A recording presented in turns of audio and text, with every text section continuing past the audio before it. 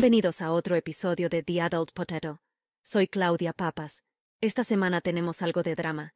Comencemos con la renuncia del jefe de bomberos adjunto Everett Pettit y ahora la renuncia del jefe de bomberos Michael Patterson. La reunión de la Junta transmitida por streaming de la semana pasada estaba presionando por un asiento en la mesa para que el presidente del sindicato se incluyera en los estatutos, cuando la presencia del jefe de bomberos ni siquiera estaba allí.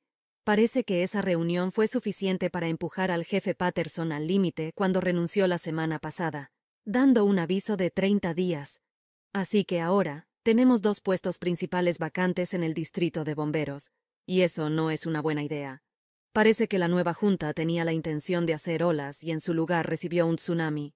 También sugirieron algunos cambios significativos en la organización, sin tener los números reales para respaldarlo.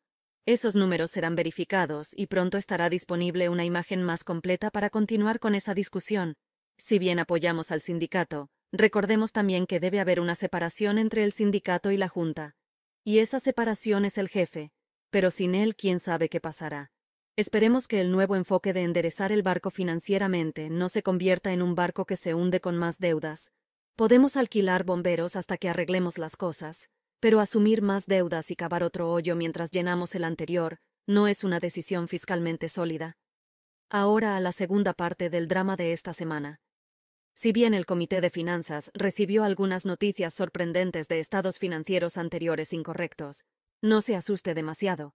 El dinero está ahí, pero las asignaciones de GL estaban muy lejos. Patty notó inconsistencias, comenzó a indagar y el resultado son dos nuevas ofertas de trabajo. Los estados financieros corregidos se presentaron anoche. Los problemas fueron revelados y subsiguientemente corregidos. Pero como todo lo demás que la Junta de Fideicomisarios ha estado haciendo con la limpieza de problemas pasados, que fueron eliminados en el camino, como actualizar tarifas y diferentes resoluciones y estatutos que Dan Sapienza ha estado presentando ante los fideicomisarios, la Junta de Finanzas se enfrenta a una innumerables problemas relacionados con las finanzas que también deben corregirse. Una vez más, no hay fraude ni robo, el saldo de las cuentas, pero las asignaciones son un gran problema que debe corregirse. Afortunadamente, Cassell, el software de contabilidad del gobierno que USA a la ciudad, viene a la ciudad para brindar un par de días de capacitación para ayudar a que todo vuelva a la normalidad.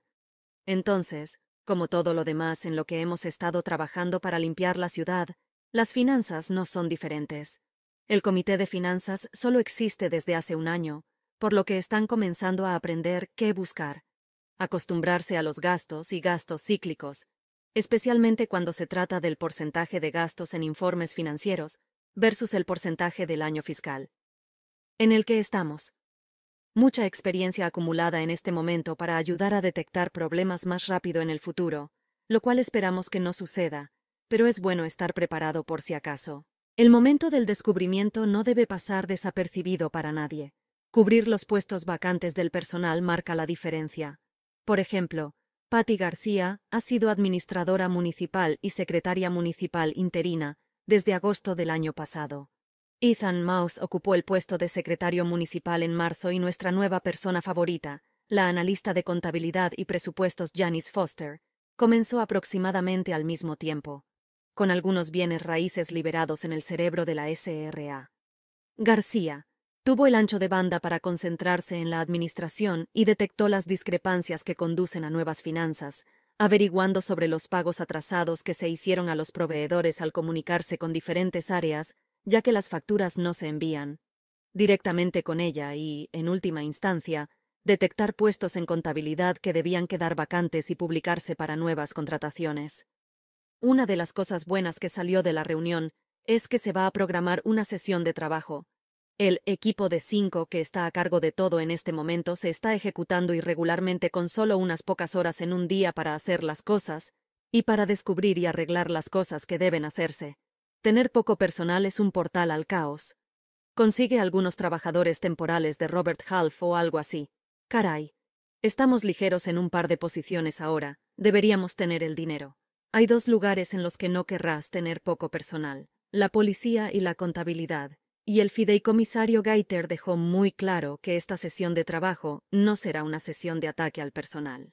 Janice le hizo saber al comité que saben lo que se debe arreglar, pero que no tienen las horas de trabajo para ejecutarlo. Aquí está la esperanza de que el comité pueda brindar algo de apoyo al equipo que está haciendo el trabajo antes de que se agoten y se vayan también.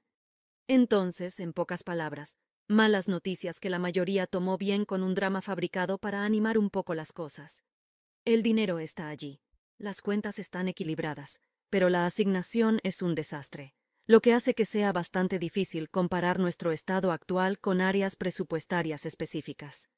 La gente del software viene a brindar capacitación, con Janice dedicando una parte de su tiempo a propósitos específicos de GL. Hemos tenido una puerta giratoria durante al menos cuatro años, cuando se trata de directores de finanzas que debe resolverse. Y para el resto del personal de finanzas, debemos pagarles bien a las personas, apoyarlas y hacerles saber que son valoradas. Tal vez parte de la hostilidad que ha experimentado el personal de la ciudad en el pasado por parte de los miembros de la Junta y el Comité se atenuará porque los almuerzos de catering no eliminan el sabor de boca después de haber sido menospreciado por personas que se supone que son líderes en la ciudad. Hacia adelante. Es hora de prepararse para el 4 de julio. Como siempre, habrá un montón de eventos en los que participar.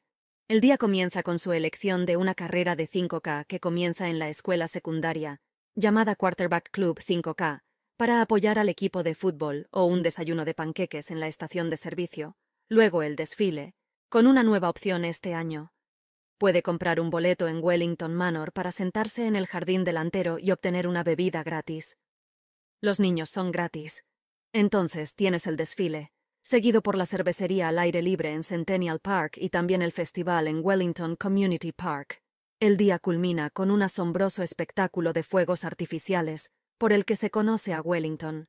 Este evento atrae a gente de todas partes y es una gran parte de la identidad de nuestra ciudad.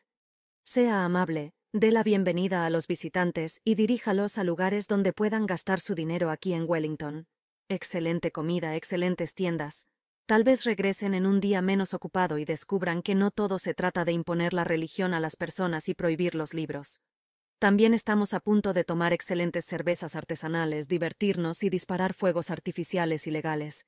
Disfruta de las vacaciones, cierra tus puertas, Trata de mantener todos tus dedos intactos y no quemes la casa del vecino. Feliz 4 de julio.